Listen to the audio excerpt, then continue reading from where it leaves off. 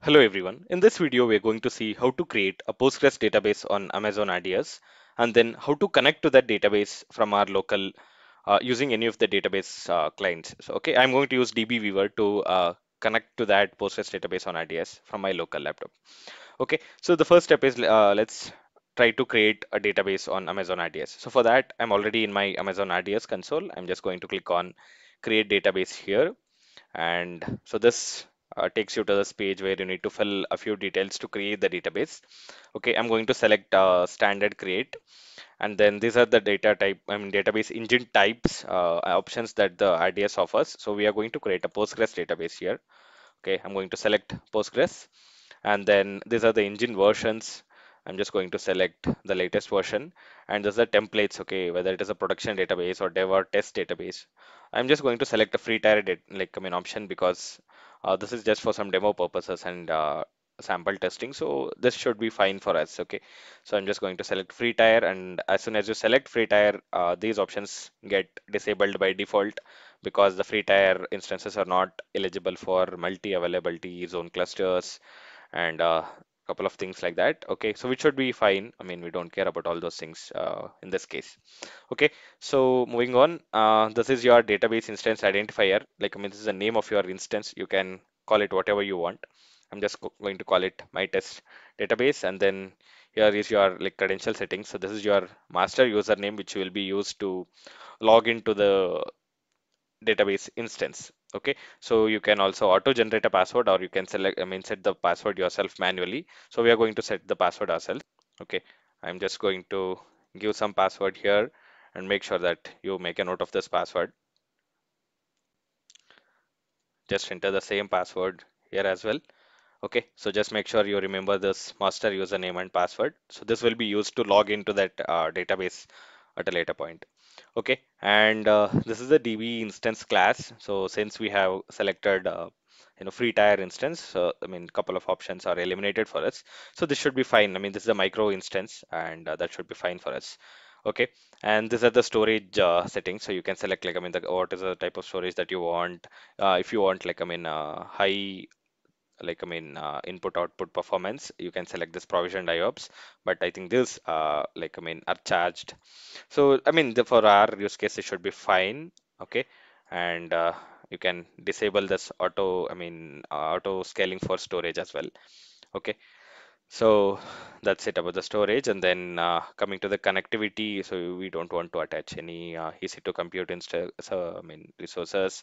And the network type we'll keep it as uh, IPv4 and VPC we are going to uh, create this in our deep default VPC so if you want to create it like I mean you can select any VPC that you want to create this instance in okay? I'm just going to create it in my default VPC and uh, then there is a subnet group okay? Here also if you want to put it in a certain uh, subnet group you can select that certain group group. I'm just going to leave it as default and uh, next one is a public access. So this is a bit important one because we will be trying to access this database from outside of our vpc so that is when we will have that is why we will have to enable this public access okay? So if you are like i mean if you don't need uh, don't have a need to connect to your database from outside your VPC, you can just leave it as empty. So when you, I mean, uh, you can select no. When you select no, no one from outside your VPC can connect to your database. Okay. Uh, so I'm just going to select yes because I'm going to try and connect to this database from outside my VPC. Okay, so make sure you select whichever is appropriate for you. And then like, I mean, if you want to collect from your local uh, laptop, which is not in your VPC, right? So you need to select yes here and then the VPC say security fire group. Okay, so if you have a certain like I mean security groups which have all the rules defined, like I mean you can just select that, or you can create a new VPC VPC security group as well. This actually plays a bit important role. Uh, I'll show you in the later part of this video why this is important. Okay, so for now I'm just going to uh, select my default security group. Okay, and all those things I'm just going to leave it as empty I mean default and then database authentication how you are going to log in into your database so I'm just going to select password authentication and monitoring turn on performance insights I don't need this I'm just disabling all those things okay so all these things I'm just going to leave it as uh, default and then click on create database okay so yep I think it it takes a couple of minutes to create the database. So if you see here, uh, it doesn't creating stage. So let's wait for the database to get created. And then once it is created, we will try and connect to that database from our local DBeaver. So uh, now our database is created. It's a successfully created database and uh, the status is available. Now let's try uh, let's let's try and connect uh, to this database from our DBeaver. Okay, so I'm just going to click on this database and uh, these are the details of the database. Okay, so to connect to this database, we need this endpoint. So I'm just going to copy this endpoint and open my DBeaver. Okay, so in my DBeaver, I'm just going to click on new database connection and select PostgreSQL here, then click on next and in the host I'm just going to paste the link that I just copied and the database. I'm just going to leave it Postgres. The username is Postgres and the password is basically whatever you had given while you are creating the database. Okay so that is a password. And I'm just going to click on test connection here. Okay so let's see if it is able to connect to the database.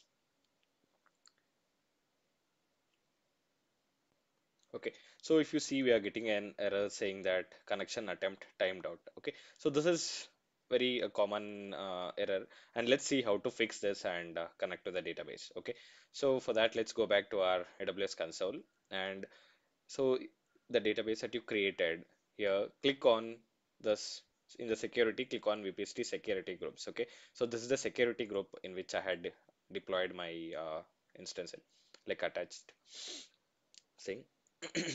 So inside the security group, there is something called as inbound rules. Okay, so inbound rules is basically uh, your like I mean definition of what traffic you can I mean you're allowing inside this. Okay, so in the inbound rules, if you see it is only allowing the traffic from the sec the security group itself. Okay, so what we need to do is we need to click on this edit inbound rules and allow the traffic to come from our like I mean local. Okay, so for that, click on uh, add rule here and uh, like you can just say all TCP. So or you can like I mean if you want to just allow from one of the port, you can just give like I mean since there's uh, Postgres runs on port 5432, you can just give that uh, port here.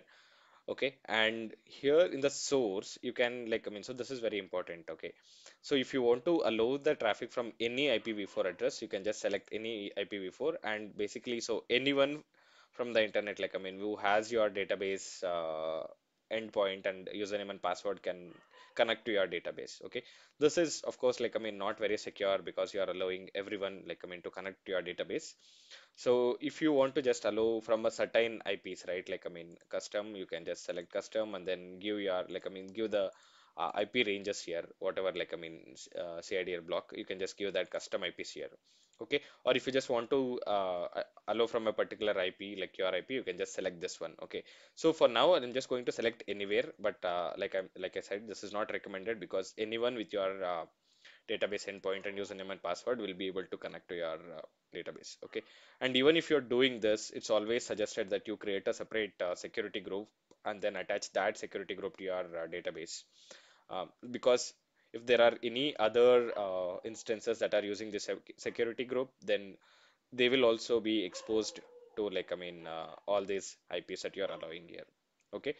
So yeah, with that disclaimer, so let's just give for this use case, I'm just going to give anywhere IPv4. Uh, so what I'm essentially saying here is that allow the TCP connections on this port from anywhere in the internet to the security group. Okay. So yeah, of course, it's a, again, it's a saying the same uh, disclaimer here, here as well because you are allowing all the IP addresses. So yep, I'm just going to click on save rules here and yep, so that rule is saved now. So now let's go back to the DBeaver and click OK and then try this connection again. So I'm just going to click on test connection and wait for it to get connected. Okay, so if you see now that uh, I mean our connection is successful and we are now connected to that database okay so let me do finish so if you see here now you are able to see like I mean all the databases that are there here. So this is, of course, the default database that was created.